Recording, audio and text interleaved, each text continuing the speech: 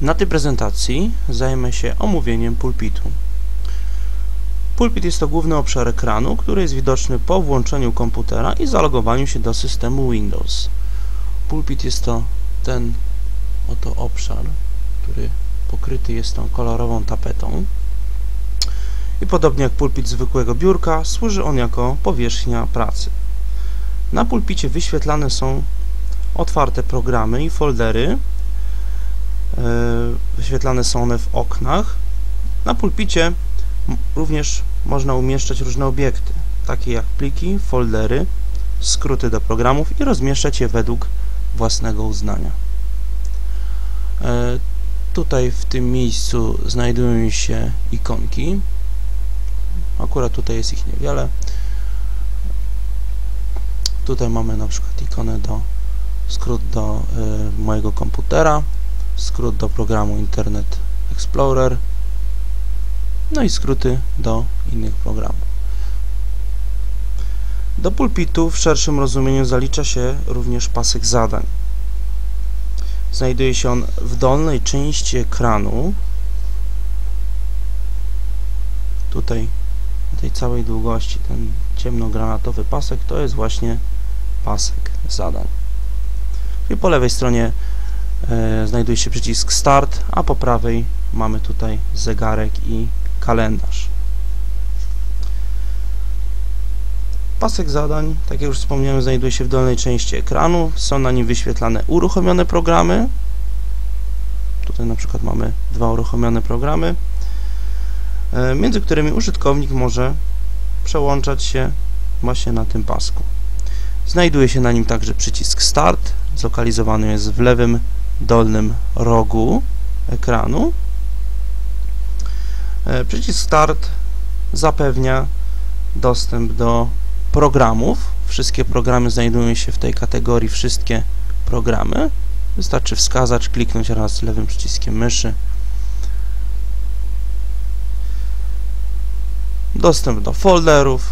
Za pomocą ikony Mój komputer mamy dostęp do folderów na dyskach twardych.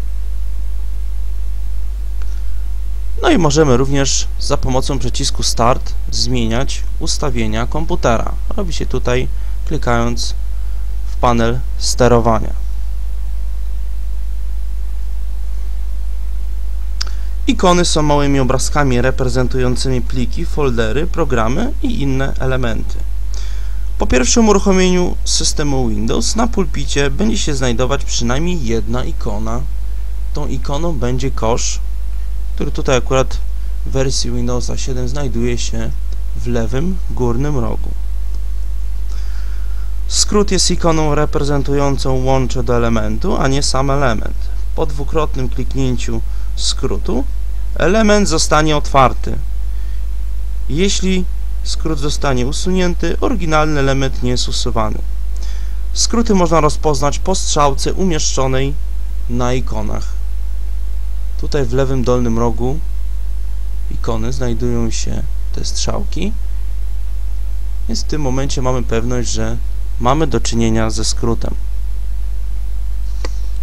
Dwukrotne kliknięcie lewym przyciskiem myszy ikony na pulpicie spowoduje uruchomienie lub otwarcie elementu przez nią reprezentowanego. No i dla przykładu pokażę, że jeśli wskażemy ikonę na przykład przeglądarki internetowej Internet Explorer i nie ruszając myszą klikniemy dwa razy lewym przyciskiem myszy w tą ikonę, spowoduje to otwarcie programu Internet Explorer